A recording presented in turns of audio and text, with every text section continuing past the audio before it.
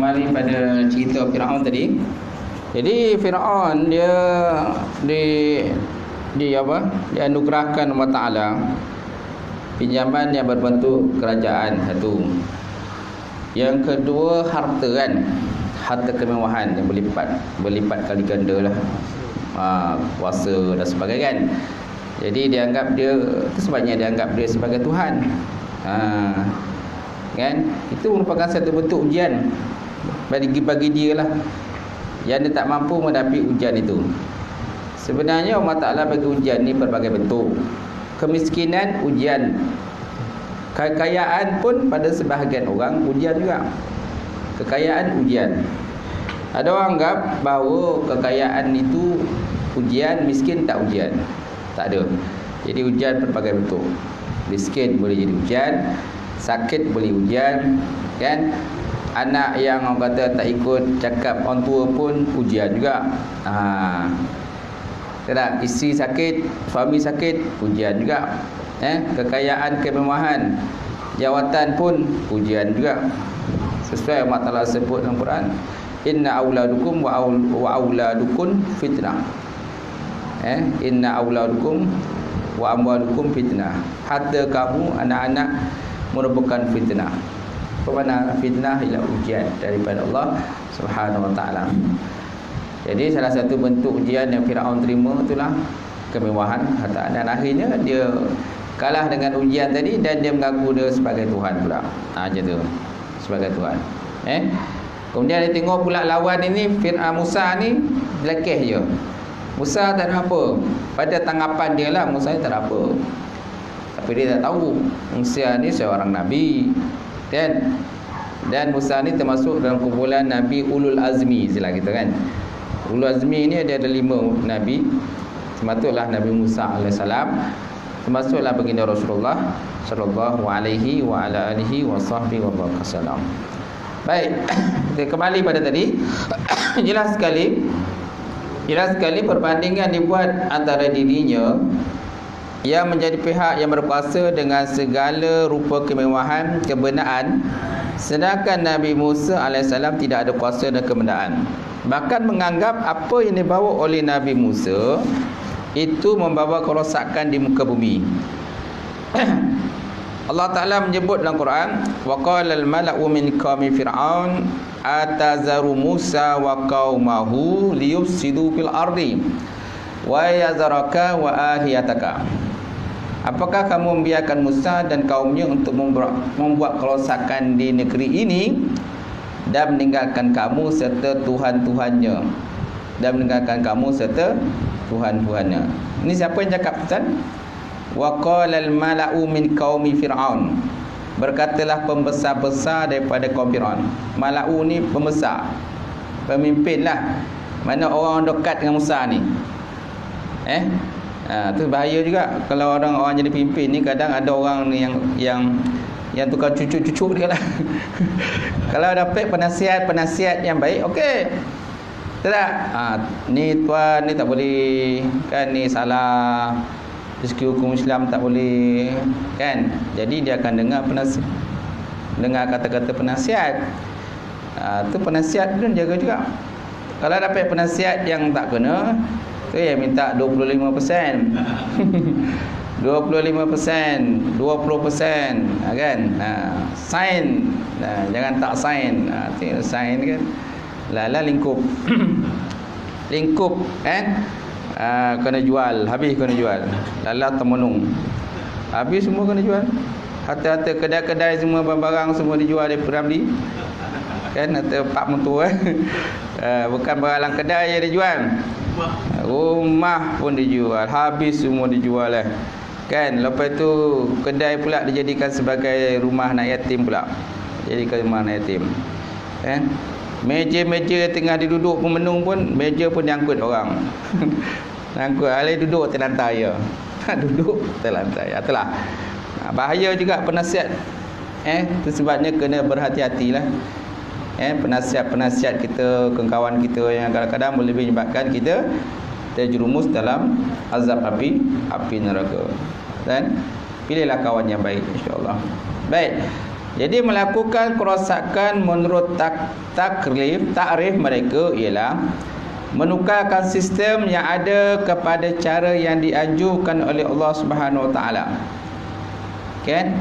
Melakukan kerosakan takrif maknanya menukar sistem yang ada itu kepada cara yang dianjurkan oleh Allah Subhanahu Wa Taala.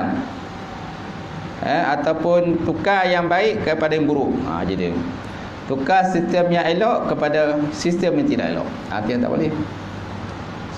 Tukar sistem tauhid pada Islam boleh. Itu baik. Saya hukum tauhid, hukum-hukum tauhid ni hukum hukum yang melampaui batas lah. Ya, yang melampaui batas dan sebagainya. Jadi hukum-hukum tak elok, kita tukar. Tukar pada hukum yang baik. Ha, itu yang kita nak. Sesungguhnya itulah gambaran tauhid jahiliah kufur sejak dulu hingga sekarang sama ada ia perseorangan ataupun kumpulan yang memaksa manusia supaya menerima yang lain daripada Islam dalam semua jurusan kehidupan bakal lebih menyesatkan lagi apabila tauhid berpuasa mana tauhid sesuatu melampaui batas lah tauhid asal mana tauhid ni berhala asal mana tauhid berhala wajatani bertauhid Walaqad ba'asna fi kulli ummatin rasula an ibudullah wa jatanibut tagut ayat bawah tu. Sungguh kami bangkit kepada setiap umat itu rasul. Eh, apa tugas rasul? Mengajak menyembah Allah Subhanahu wa taala, mengabdikan kepada Allah wa jatanibu tagut dan menjauhkan diri kepada tagut. Tagut ni pelbagai tafsiran pada tagut lah. Asal mana tagut ni berhala lah. Eh, tapi ulama-ulama juga mentafsirkan tauhid, ulama tafsir pun mentafsirkan tauhid dengan sesuatu yang melampaui batas. Eh, ataupun tidak berhukum dengan hukum Islam pun tahu juga pakai hukum undang cipta manusia sekular dan sebagainya ha, ini pun dalam bentuk tahu juga tahu kan okey jadi yang paling baik kita berhukum dengan hukum Allah subhanahu wa taala.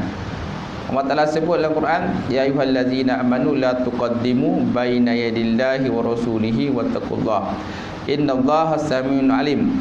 Ayat surah hujurat Ayat 1 ha, Ya ayuhallazina amanu Wahai orang-orang yang beriman La tuqaddimu Baina yadillah. Jangan kamu mendahului Allah eh, Dan juga Rasulnya. Ha, Jangan kita mendahului Allah Ta'ala dan Rasul. Wattaqullah dan bertakwalah kepada Allah Taala. Innallaha samiun alim. Sesungguhnya Allah Taala itu Maha mendengar lagi Maha mengetahui lah kat situ pun dah nampak jelas kan? Kita tak boleh menolak Allah Taala dosa ayat ni tuan ayat surah hujurat ayat 1 ni turunkan berkenaan dengan kisah Muaz bin Jabal Muaz bin Jabal satu hari dilantik untuk menjadi gubernur negeri Yaman oleh Rasulullah. Kan? Sebelum Muaz bin Jabal pergi Rasulullah tanya dengan Muaz ya Muaz kan? Kalau nanti kamu diajukan dengan masalah dengan dengan apa yang kamu nak berhukum ha bima tahkumu dengan apa kamu nak berhukum bila kamu diajukan sesuatu masalah oleh orang Yaman rakyat kamulah nanti orang bawah kamu maka ya Muaz berkata antahkumu bil Quran aku berhukum dengan Quran kalau kamu tak jumpa dalam Quran, ha, macam mana? Maka Muaz jawab, aku antahkumu bi sunnati Rasulillah sallallahu alaihi wasallam. Aku berhukum dengan sunnah baginda Rasulullah sallallahu alaihi wasallam. Kalau kamu tak jumpa dalam sunnah, ha, maka aku berhukum dengan pendapatku. Pendapatku dan juga pandanganku lah. Jadi Muaz mendahulukan Allah Taala dan Rasul sebelum mengikut kepada pendapat dia. Itu pada zaman Rasulullah. Tapi kalau zaman sekarang ini pendapat ni dah dotak bawah lagi. Sebab apa? Kita ada ulama. Ha, eh tak ada dalam Quran, tak ada hadis, tengok pula ijma ulama. Fatwa ulama dan sebagainya. Ulama-ulama yang mutabar. Kalau tak ada pendapat ulama, kias. Ha, dia ada empat semua hukum tu kias. Eh? Ha, lepas tu barulah kita tengoklah kepada kecenderungan hati kita mana hati kita berat nak buat ke tak nak buat. Ha tu. Eh? Tengok pada hati. Kerana hati kita boleh jadikan sebagai sumber untuk mulakan satu fatwa. Nabi SAW pernah bersabda, "Iza aradul amru fatah yadaka ala sadrik." Bila kamu nak buat satu benda, maka letak tangan kat dada. fa inna fa innal halal fa innal qalba yaskunu lil halal wa yattarib lil haram. Kerana dada kita ni hati kita ni dia akan tenang bila benda tu halal dan dada kita gementar kan? Gementar bila benda tu haram. Benda tu haram. Semaknanya minta petua pada hati. Iftafti qalbak. Memang ada hadis tu? Hadis 40 iftafti qalbak mintalah fatwa kepada hati kau ha. Eh? Minta fatwa pada hati ni bila maknanya dalam Quran pun tak jumpa lagi dah. Memang dalam hadis pun tak ada ijma ulama pun tak ada kias pun tak jumpa. Kan? Dan tanya ke hati kita lah sendiri. Sama ada nak buat ke tak nak buat. Kan? Ha, kerana hati ini cenderung pada benda yang tak uh, dia boleh cenderung pada benda baik dan benda yang tak tak baik. Baik jadi kita lihat kepada tadi bakal lebih menyesatkan lagi apabila tauhid berkuasa masya-Allah. Ha, kalau tauhid berkuasa kan ni lagi parah. Dia akan menukar hukum Islam pada hukum-hukum kita manusia. Benda-benda yang kadang-kadang tak logik lah. Ha, eh Malahan kadang-kadang dia cenderung pula Cenderung pula benda yang tak elok Benda-benda yang menentang Quran dan hadis benda-benda yang meremeh-lemeh, meremeh-remeh temehkan Islam dan sebagainya dia cenderung ke situ. Benda yang sepatutnya dia dia dia bela Islam dia tak bela. Benda yang boleh membawa kepada merenahkan Islam dia dia sokong pula. Ha kan. Ha di parah tu kan. Ni parah tunggu tu balik. Ha balik. Eh? Benda yang kata membawa uh, mempelekai Islam dia sokong pula kan? Dia bela pula benda tu. Benda-benda yang kata yang sepatutnya Islam ni naik dia tak nak pula sokong tak nak pula bela. Ha, ni memang ni pun salah satu bentuk tawud juga tu. Bentuk eh? Bakal menyelesaikan lagi apabila tawud berkuasa. Inilah cabaran paling hebat dihadapi oleh Rasul-Rasul alaihi salatu wasalam dan orang-orang beriman bersama-sama dengan mereka. Ha sesuai yang Allah sebut dalam Quran tadi walaqad ba'asna fi kulli ummatin rasula an ibudullah wajtanibu itulah dia ciri-ciri kekufuran sama ada pada zaman jahiliyah Namrud dan Fir'aun atau pada zaman jahiliyah Arab Parsi dan Rom ataupun pada zaman jahiliyah moden di mana yang berbeza hanyalah watak-watak tauhid yang membawa dan menciptakan kekufuran tadi. Nampak tak? Yang berbezanya watak-watak tauhid dia orang-orang minta peranan tadi untuk merendahkan Islam. Kan mempelakkan Islam dan sebagainya. Kalau dulu ada ada Fir'aun ada Namrud kan? Orang-orang yang zalim dulu ada. Zaman sekarang kadang kita tak nampak kerana dia berselindung. Dia berselindung kan? Berselindung atas nama Islam. Ha, itu yang bahaya tu kan? Berselindung atas nama Islam. Nama Islam. Tapi bila sebut Islam dia tak nak bela. Bila mempelkai Islam dia bela pula. Ha. ni antara watak-watak tawud yang membawa dan mempertahankan kekufuran juga. Eh? Di mana yang membeza hanya watak-watak tawud dia sebut itu dan yang membawa dan mempertahankan kekufuran itu. Mungkin tawud abad ke-15 hijrah atau 21 Masihi dengan tekti yang baru mereka tidak lagi menekan keluar Islam secara secara lahiriah tetapi bertindak daripada segi fakti yang menumpukan iman dan seterusnya membunuh akidah yang sebenar. Ini bahaya. Mana ini serangan serangan uh, saraf. Perang saraf namanya kan? Psikologi perang saraf. Itu yang bahaya. Itu yang bahaya kan? Zakhiriat kita nampak Islam dengan namanya yang yang tertentu dengan nama pakai nama Islam dan sebagainya. Ada yang kadang bernama dengan nama Nabi dan juga nama para Rasul dan sebagainya kan? Ha. tapi watak tu yang kadang bahaya lah. Watak bahaya. Berselindung kan? Di atas nama Islam. Eh? jadi mereka melumpuhkan dan membunuh akidah orang-orang Islam itu sendiri dan melemahkan apalagi kalau ada benda tu contohnya orang yang berstatus contohnya ustaz orang yang bertitle tok guru dan sebagainya eh orang-orang yang ialah yang berserban, berjubah dan sebagainya. Ha, jadi orang pun orang pun ter, terkelirulah benda tu, terkelirulah. Eh, eh ustaz cakap je ni. Tunggu cakap je ni kan. Ah ha, bahaya. Eh? Di mana sikap mereka tidak lagi menyembah patung-patung dan berhala-hala atau menyembah Firaun tetapi melalui penyembahan kepada ideologi yang dicipta untuk menyelesaikan masalah dengan meninggalkan agama Islam ataupun agama Allah Subhanahu taala yang diperintahkan oleh manusia dengan akalnya. Eh? Ha, nampak tak? Jadi mereka tidak lagi menyembah patung-patung dan berhala. Dia tak sembah patung berhala lagi. Tapi mengembangkan ideologi. Ha, itu namanya farang saraf. Ideologi kan? Menyebabkan orang pun jadi terkelirulah eh betul ke tak betul? Ya ke tak ya? Ha, malah kadang-kadang ada juga digunakan ha, ustaz ni kata macam ni ustaz ni kata dia guna dia, dia jual nama ustaz pun ada. Dia jual nama ustaz dia jual nama guru pun ada juga. Macam-macam lah. Ha, zaman sekarang ni sebabnya kita kena berhati-hati dan carilah guru-guru yang muktabar kan? Ada ulama dan sebagainya yang muktabar yang kita yakini kesahihan akan kepakaran ilmu mereka. Eh kesahihan dan kepakaran ilmu mereka. Baik. Kemudian juga tidak lagi dengan upacara pemujaan dan penyembahan hantu. Syaitan yang gaib tetapi bertindak memuja memuja kebenaran ataupun materialisme. Materialisme yang dijadikan kepada matlamat hidup. Nampak tak? Ha. Eh?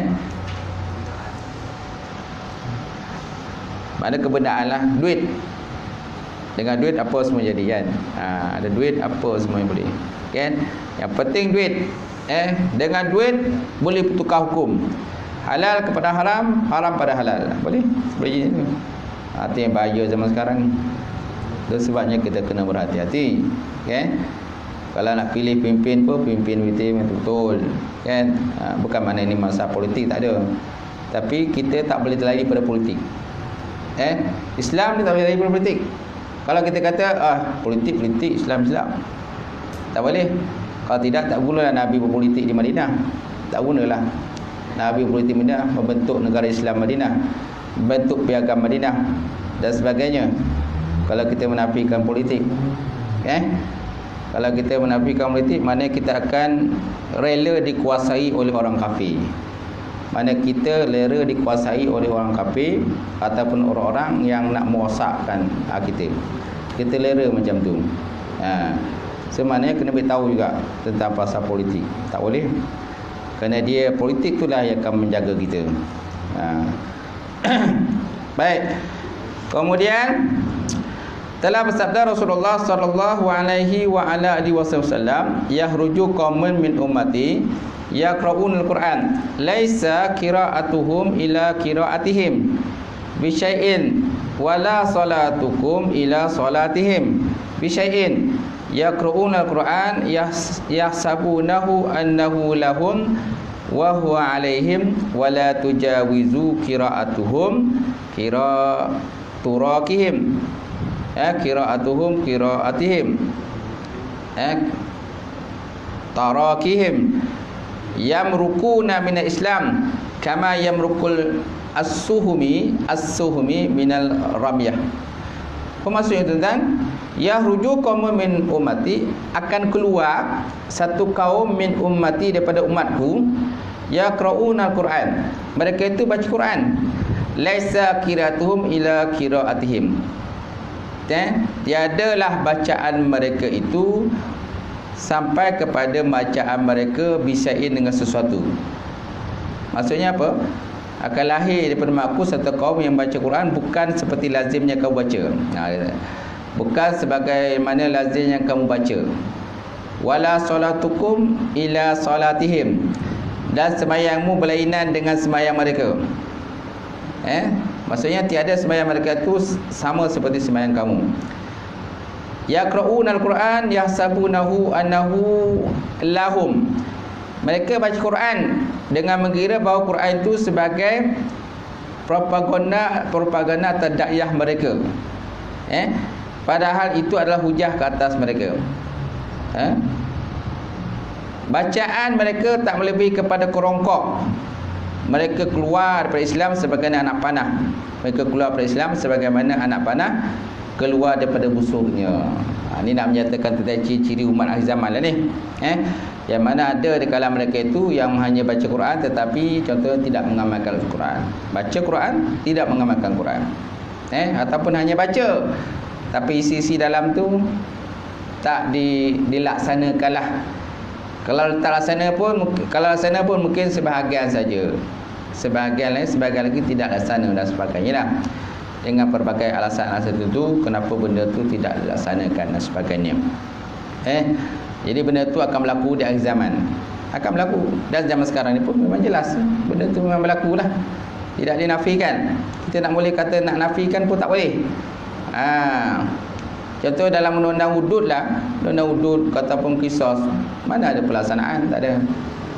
Hanya hanya sekadar dalam Quran ataupun dalam kitab-kitab saja benda tu dalam kitab-kitab saja kalau laksana pun mungkin ada sedikit tak banyak lah. Yang lebih kepada contohnya bab uh, kata munakahat nikah kahwin. Bab muamalat kan? Bab harta pusaka. Betul tak?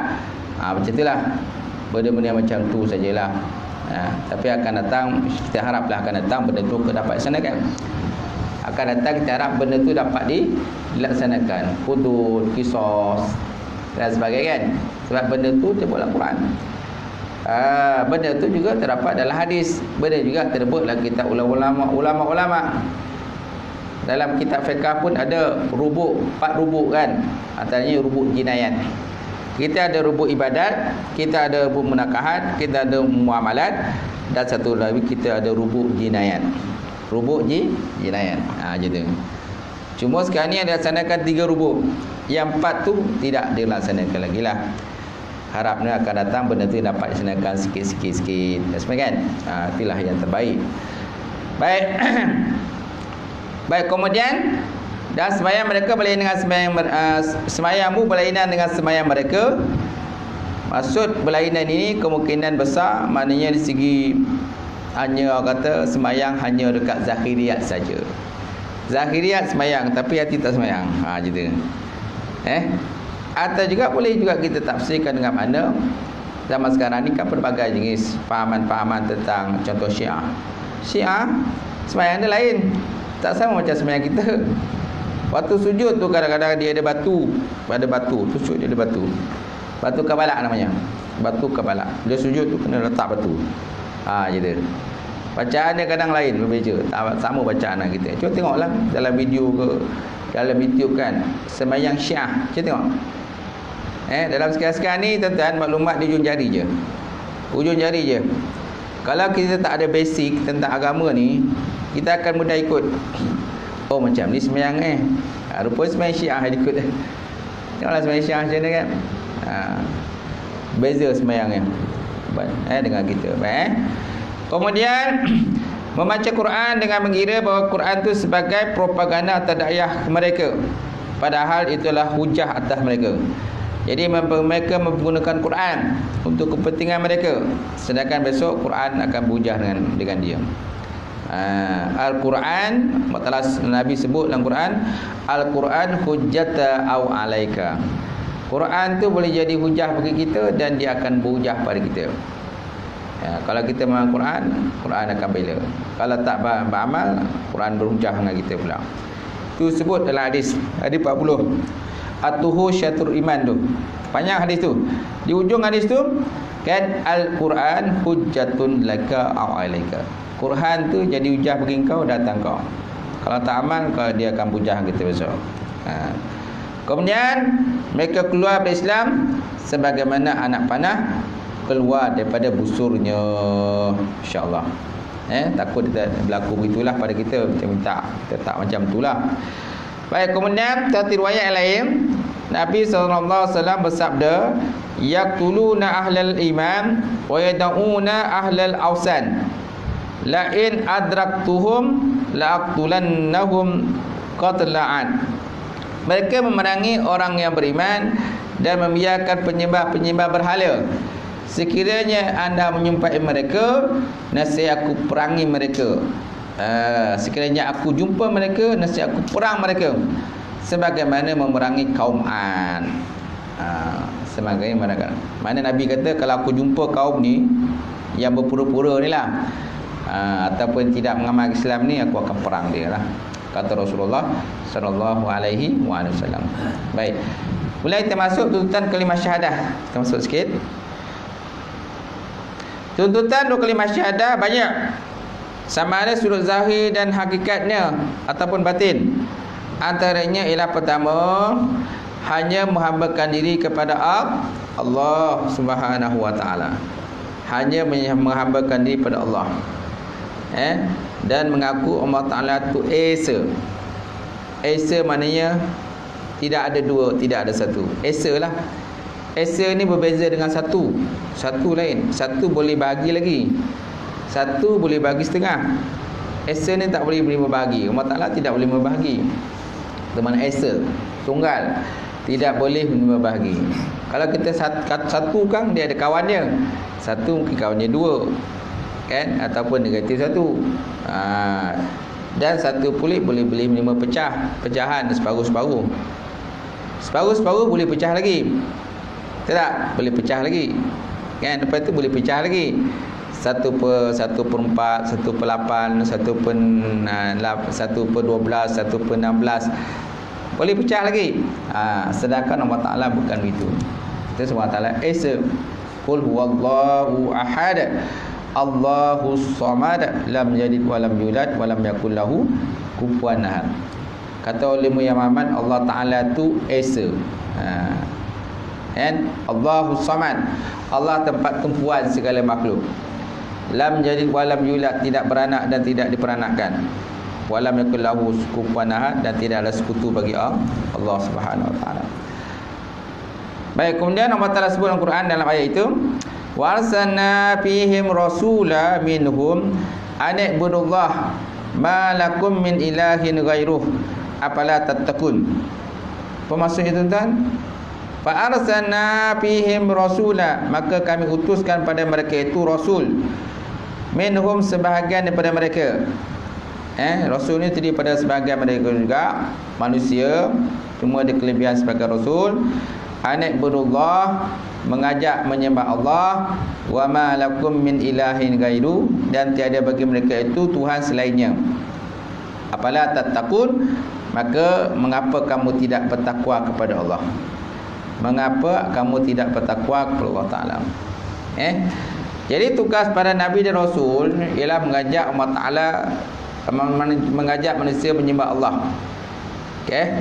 Itu sebabnya ada ayat menyatakan bahawa kami tidak membezakan antara rasul. Kami tidak membezakan antara rasul-rasul itu. Eh? Cuma ada pula ayat yang menyatakan kami membezakan mereka. Macam mana tu? Ada ayat membezakan ada ayat tak membezakan ada yang menyatakan kami tak pernah membezakan antara para rasul dan para nabi ada pula ayat menyatakan tilka rasul faddalna ba'dhum ba'dha kan? Sebagai rasul tu kami beza-bezakan.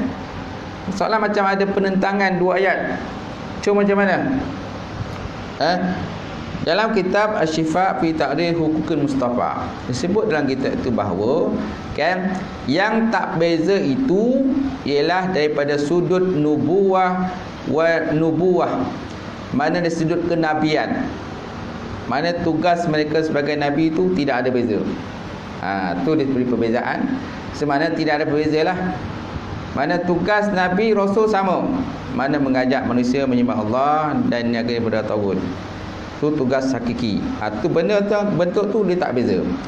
Yang beza segi mana? Kan? Beza dari segi kelebihan-kelebihan tertentu khususiah-khususiah tertentu yang ada kepada para nabi dan rasul itu. Ah ha, itu yang beza. Gelaran-gelaran mereka ada yang ulul azmi tak ada yang tak ulul azmi. Kalau itu ada perbezaan. Kan? Mukjizat-mukjizat kerana beza? Ini nilai mukjizatnya nilai mukjizatnya. Kan?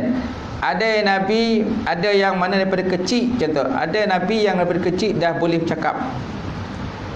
Kecil dia dah mana lahir dia dah boleh bercakap. Contoh nabi Isa boleh bercakap. Nabi Muhammad boleh lagi. Ha, dia boleh bercakap waktu kecil.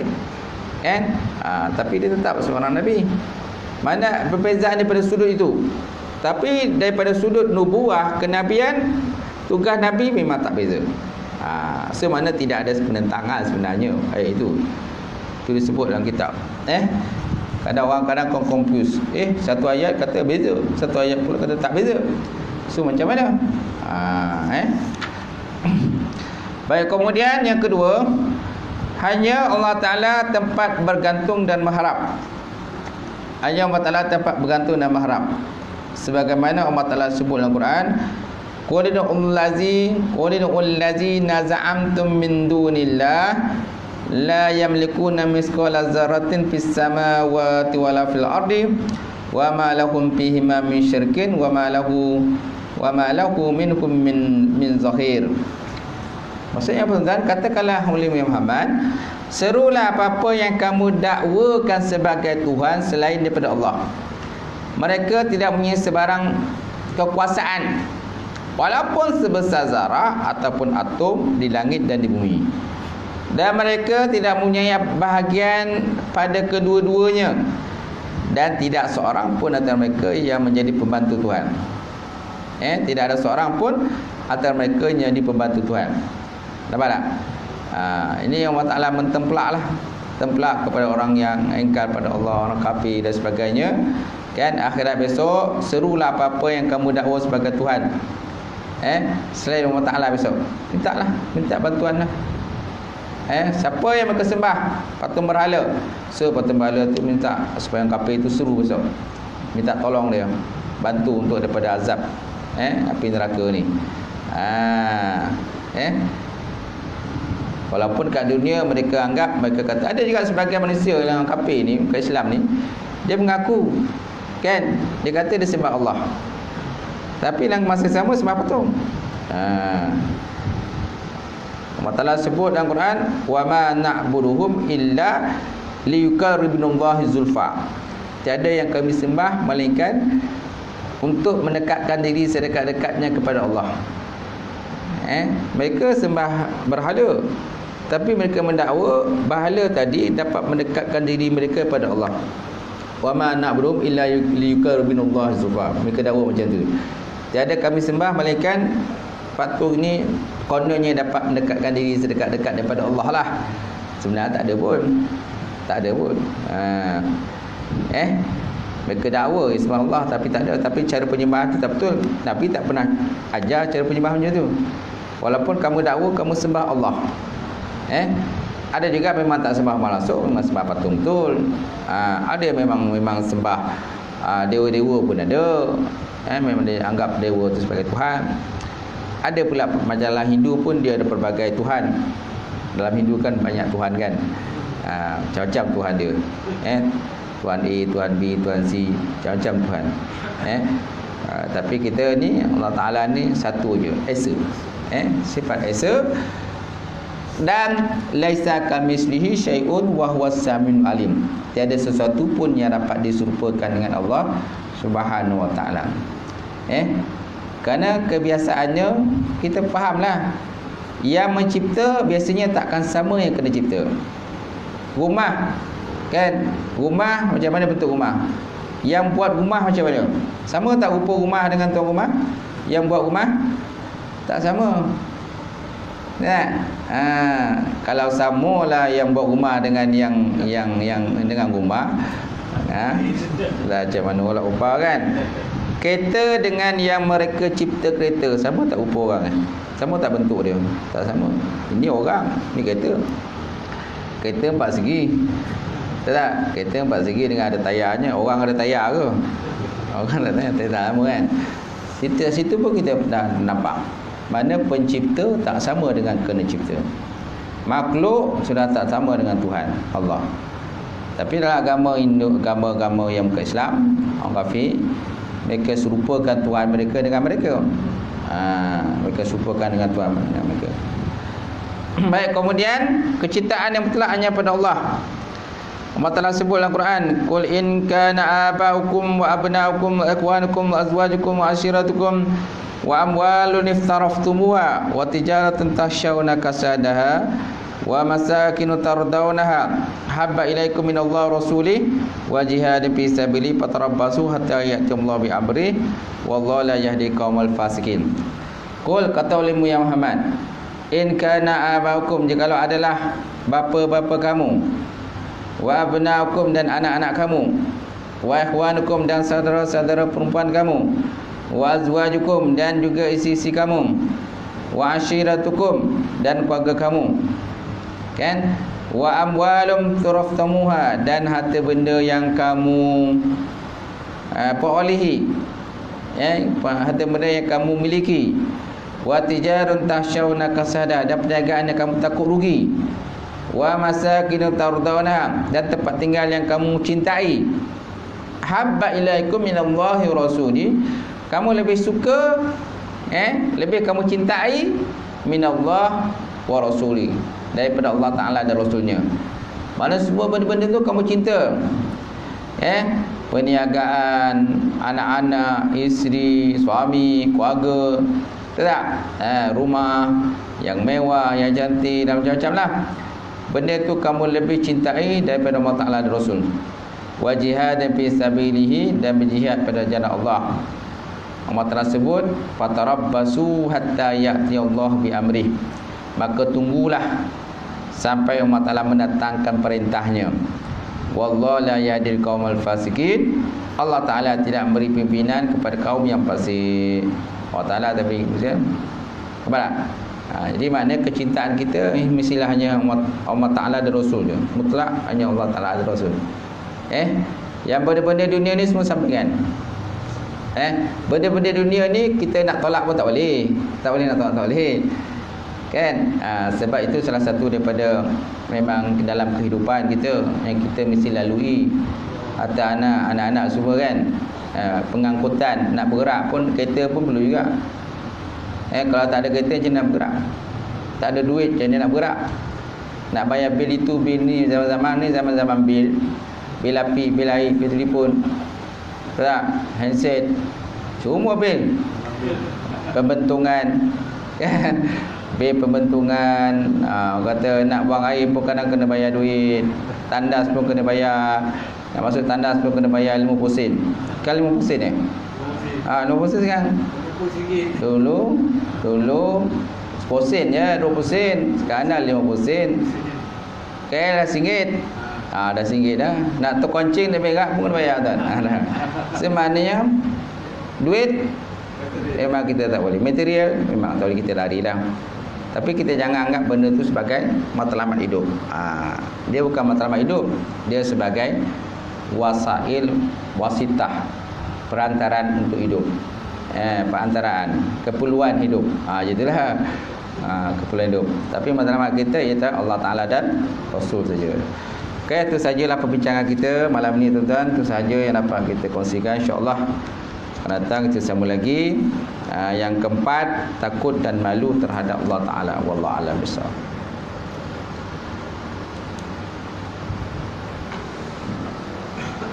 A'udzubillahi minasyaitonir rajim. Bismillahirrahmanirrahim. Wassalatu wassalamu ala mursalin wa ala alihi ajmain. Allahumma zidna nafi'a wa yaqina wa halalan mubarakatan katsiran alim. Qulubana ma'rifataka wa fa'alin. Allahumma fakana bidin Allahumma fakana bidin. Allahumma ja'al hadza jam'al marhuma wa tafarruqana min ba'di tafarruqal ma'suma. Rabbana iftah bainana wa baina qaumina bil haqqi antal fatin. Rabbana atina fid dunya hasanah wa fil akhirati hasanah wa qina azabannar. Subhana rabbika rabbil izzati amma yasifun wassalamu ala mursalin. Alhamdulillahi rabbil alamin. Qabarallahu minkum